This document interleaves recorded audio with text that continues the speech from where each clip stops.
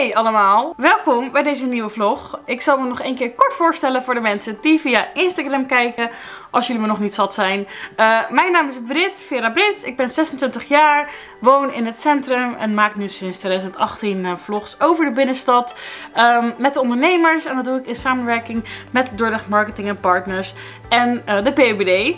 En ja, superleuk. Ik word op pad gestuurd om de leukste hotspots of nieuwste plekken te ontdekken. En uh, evenementen te bezoeken. Eigenlijk van alles. Tada! Dus uh, heel leuk dat dat, zo. dus heel leuk dat dat natuurlijk in mijn eigen stad kan. Vandaag gaan we het hebben over de Dordtse producten. Ik ga kijken in de keuken. En dat gaan we bij twee iconische plekken doen in de binnenstad. En als eerste, vind ik echt super leuk, krijg ik een kijkje hier bij Slagerij Verkerk. En de reden dat ik het zo leuk vind is omdat ik hier dus heel erg dichtbij woon. En s ochtends om 4 uur dan word ik hier het al van alles beginnen. Want dan beginnen ze al met uh, het vlees bereiden. En moet ik nog gaan slapen. Het is natuurlijk een beetje dubbel, want ik zelf ben vegetariër, dus ik eet geen vlees. Maar ik ben wel heel erg nieuwsgierig hoe dit eruit ziet van binnen, want het bestaat al heel erg lang.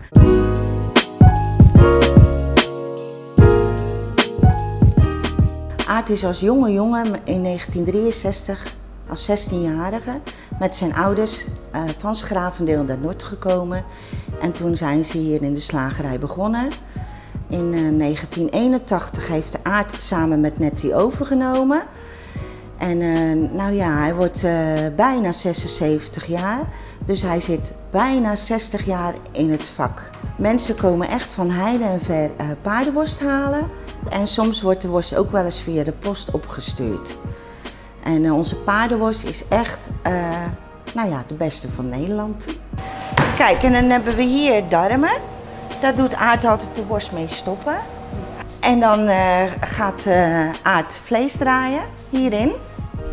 Dan wordt het vervolgens met kruiden hierin gegooid en dan wordt het gemengd. Daarna gaat het hierin. En dan kom hier de darm op. Er zit hier eigenlijk dan nog een pijpje aan. Dus gaat hier de darm op.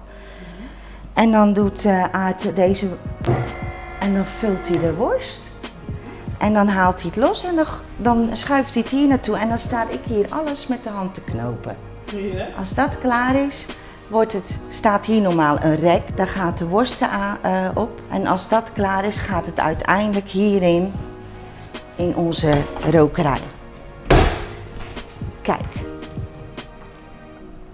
Dan worden ze afgekoeld en als we ze gaan verkopen, dan doen we ze even in deze ketel en dan gaan ze wellen. En dan krijg je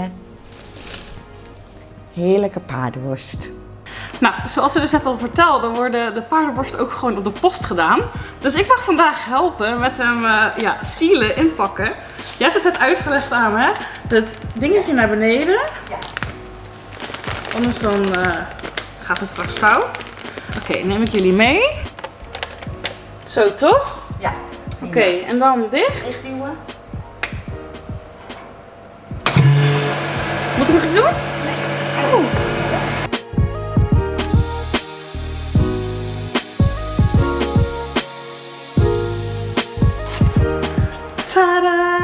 Goed gedaan of heb ik het goed gedaan? Netjes in de vacuüm. Ja, goed nou. gedaan. En zo bleef hij drie weken goed, toch? Zei je? In nou. de koelkast. En je kan hem ook nog invriezen. Oké. Okay. Nou, drie weken in de koelkast goed. Uh, ik ga kijken wie ik er blij mee kan maken.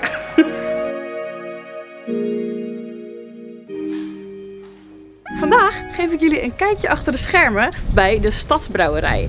Waar het echte Dordtse schapenkopje gemaakt wordt. Nou, we zijn hier in de Stadsbrouwerij Dordrecht.